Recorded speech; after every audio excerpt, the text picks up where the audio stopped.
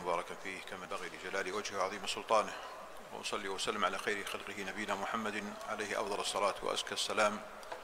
أما بعد الحديث الصحيح الذي رواه الإمام أحمد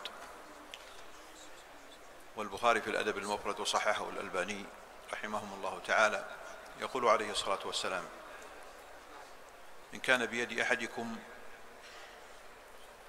إن قامت الساعة وبيد أحدكم فسيلة فإن استطاع أن يغرسها قبل أن تقوم فليغرسها. انظروا إلى هذا الحث النبوي على فعل الخير واغتنام فرصته وانتهاز موسمه حتى مع آخر لحظات الدنيا وما فيها. وما يتبقى من هذه الحياة الدنيا يحث النبي صلى الله عليه وسلم على استغلال الخير وتحين فرصة وعدم تفويت تلك الفرصة السانحة من الخير. فأخذ السلف هذا الحث النبوي والحرص على الخير فقال أحدهم إذا فتح لأحدكم باب خير فليسرع فإنه لا يدري متى يغلق دونه. وأخذ الشافعي رحمه الله تعالى هذا وقال إذا هبت رياحك فاغتنمها فعقبى كل غافقة سكون. فلا تغفل عن الإحسان فيها فلا تدري السكون متى يكون. لا تدري سكون هذه الحياة من أنفاسك متى تكون. لا تدري متى, تكون متى سكون صحتك عن المبادرة إلى الخير متى يكون. لا تدري متى يكون سكون فراغك للمبادرة في هذه الخيرات متى يكون. فلا تدري السكون متى يكون. ولذلك أيها الأخوة أحيانا يفتح الله سبحانه وتعالى أسباب فعل الطاعة لبعض الناس فترى بعضهم يفعلها مرة ومرتين ثم ينقطع ويتركها ولا يعود إليها. وبعض الناس نهازا للفرص إذا بدت له فرصة سانحة إلى الخير ويسر الله تعالى له سبب من أسباب الطاعة تشبث به وداوم عليه. وجعله جزءا من حياته. فبعض الناس أحيانا ييسر الله سبحانه وتعالى لهم أسباب فعل الطاعات. يدخل المسجد وهو لم يحسب حسابه أنه يصلي على إحدى عشر جنازة اثنى عشر جنازة خمسة عشر جنازة فيصلي. ويبلغه أن في الجنازة الواحدة الأجر فيها قيراط من المغفرة. فيداوم على ذلك ويتشبث به. وغيره لربما صلاها ومشى ولم يعد إليها مرة أخرى. وهكذا إذا دخلت مواسم الطاعات تجده مثلا في رمضان يقبل على كتاب الله تعالى.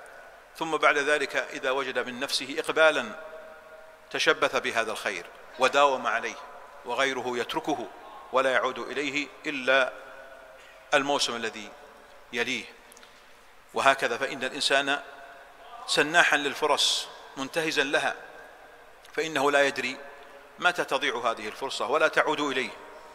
سواء كانت طاعة من الطاعات أو مالا يرزقه الله سبحانه وتعالى. إياه فنعم المال الصالح للرجل الصالح كما قال عليه الصلاة والسلام في الحديث الصحيح. وهكذا لو كان صاحب منصب أو وظيفة أو عمل يسخر للناس يسهل عليهم يخدمهم. وهكذا إذا كان صاحب علم ينثر علمه وينفع به الآخرين. فإنه لماحا لذلك الخير حريصا عليه. نبينا صلى الله عليه وسلم المثال المحتدى والقدوة الحسنى الحريص على تلك الفرص السانحة الحاث عليها والفاعل لها عليه الصلاة والسلام.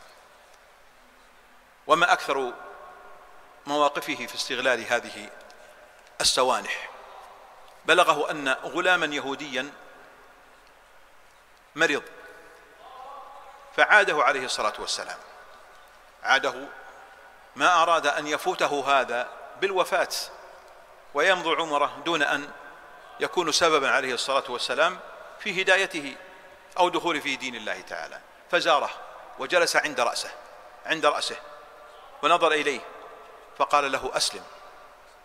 فنظر الغلام وكان مريضا. نظر إلى أبيه. وانظروا إلى التوفيق عندما يكون الإنسان مخلصا في عمله مسددا. فقال له أبوه أطع أبا القاسم. فأسلم. فقام النبي صلى الله عليه وسلم وهو يقول الحمد لله الذي أنقذه بي من النار. لم يضيع فرصة هذه الوقت من عمره القصير أن يفوته. وهكذا. إذا مر بالإنسان أحيانا حدث أو مر به خبر أو مر به موقف بين أهله بين أصحابه بين أقربائه بين أصحابه في العمل بين أرحامه بين أولاده ويحتاج إلى تعليق وتوجيه فلا يتردد عن فعل ذلك. النبي عليه الصلاة والسلام كان جالسا على مائدة وعمر بن أبي سلمة غلاما صغير تطيش يده في الصحفة فوجهه النبي صلى الله عليه وسلم. ما قال هذا صغير لا يعي معذور بخطئه إنما أوصل له التوجيه التربوي النبوي. فقال يا غلام سم الله وكل بيمينك وكل مما يليك. انظروا حتى لم يعنفه ولم يخطئه ولم ولكن وجهه وجهه. فكان هذا التوجيه منه عليه الصلاة والسلام شرعا يهتدي به الناس في آداب الطعام والشراب. فانظروا إلى هذه الفرص التي أحيانا يفوتها بعض بعض الناس. ما قال صغير لا يعي أو معذور بصغره. وهذا يحصل أحيانا عندما يكون أبناؤنا وبناتنا صغار. نقول هؤلاء معذورين. يناهم على الخطأ ولا نوجههم ولكن قد تكون هذا التوجيه له نفع عظيم. له أو لغيره مما يسمع. ثم جاء من بعده صحابته رضوان الله عليهم. أصحاب السبق المعلى كالصديق خير هذه الأمة بعد نبيها. صديق هذه الأمة أبو بكر ثاني اثنين في الغار. كانت له المبادرات التي لم يسبقه بها أحد واغتنام الفرص التي لم يستطع أن يسابقه إليها أحد. فكان من المبادرين في دخول هذا الدين فأسلم وكان أول رجل يسلم يدخل في دين الله تعالى. احتسب له النبي صلى الله عليه وسلم هذا. فقال فقال عليه الصلاة والسلام إن الله بعثني إليكم. فقلتم كذبت وقال أبو بكر صدقت. وفداني بنفسه وماله. هل لا تركتم لي صاحبي؟ هل لا تركتم لي صاحبي؟ عن موقف حصل. أشاد النبي صلى الله عليه وسلم بأبي بكر في هذا الأمر. يقول فلم يتعرض أبي بكر بعد هذا الموقف بأذى من أحد أبدا. ويأتي عثمان بن عفان رضي الله عنه. ولما يسمع النبي صلى الله عليه وسلم يحث الناس على تجهيز جيش العشرة وهو محتاج إلى تجهيز ذلك الجيش فيقوم ويقول يا رسول الله علي كذا وكذا. ثم يحث النبي صلى الله عليه وسلم مرة ثانية أصحابه ويقول ويقوم مرة ثانية والثالثة ويقول يا نبي يا رسول الله علي كذا وكذا. فيفرح النبي صلى الله عليه وسلم بمبادرة عثمان واغتنامه لهذه الفرص السانحة من الخير. فيقول عليه الصلاة والسلام ما ضر عثمان بعد اليوم شيئا. ما ضر عثمان بعد اليوم شيئا. تزكية له ودعاء عظيم. وهكذا أيها الإخوة ينبغي للإنسان أن لا يفوت فرصة لأن من يبادر بالخير يسبق غيره بمراتب وبمراحل. فالسابقون الأولون من المهاجرين والأنصار خير من الذين جاءوا من بعدهم. وأهل بدر خير من غيرهم. والذين أسلموا من قبل الفتح وقاتلوا خير من الذين جاءوا من بعدهم. وأسلموا. كل له أجر ولكن هؤلاء السابقون خير منهم. السابقون السابقون أولئك المقربون يقول الله تعالى. وهكذا ينبغي أن تستغل الفرص السانحة بالخير إذا سنحت ويبادر لها الإنسان. وهكذا إذا بدرت هذه المواقف فعلى الإنسان وهذه أوجه أسباب الخير أن لا يتردد, يتردد فيها الإنسان لأنه إذا تردد فاتته وسبقه إليها غيره. يجلس النبي صلى الله عليه وسلم ذات يوم فيقول عليه الصلاة والسلام عرضت علي الأمم عرضت علي الأمم. فرأيت النبي ومعه الرهيط ورأيت النبي ومعه الرجل والرجلان. والنبي وليس معه أحد. ثم رفع سواد عظيم. فظننت أنه أمتي. فقيل لي هذا موسى وقومه. ثم قيل لي انظر إلى ولكن انظر إلى الأفق. فنظرت إلى الأفق فإذا سواد عظيم. ثم قيل لي انظر إلى الأفق الآخر. فنظرت فإذا سواد عظيم. قيل له هذه أمتك ومعهم سبعون الفا. يدخلون الجنة بغير حساب ولا عذاب. فلما كان عكاش بن محصن من المبادرين السانحين السابقين للخير الحريصين عليه المحبين له وفقه الله أن يقول للنبي عليه الصلاة والسلام وهو مجاب الدعوة ادعو الله يا رسول الله أن أكون منهم. قال أنت منهم. ماذا حصل بعد ذلك؟ بعد هذا الموقف جاء أح آخر وقال يا رسول الله ادعو الله أن يجعلني منهم أو أكون منهم. قال سبقك بها عكاشة. فاز بها. لأنه لو لو لو استمر لبقي كل كل الناس يقولون ادعوا يا رسول الله أن نكون منهم. وهكذا المبادرة إلى الخير يحصل بها خير عظيم أيها الأحبة ويحصل للإنسان فيها ما فيها وعلى الإنسان أن لا يتأخر عن مبادرته إلى الخير أبدا. والمبادرة بالخيرات أحيانا يحتاجها الإنسان وتتأكد في مواطن الفتن وأيام الفتن ولذلك يقول النبي عليه الصلاة والسلام اغتنام اغتنام الخير وأعمال الصالحة يبادر بها الإنسان ويسابق إليها.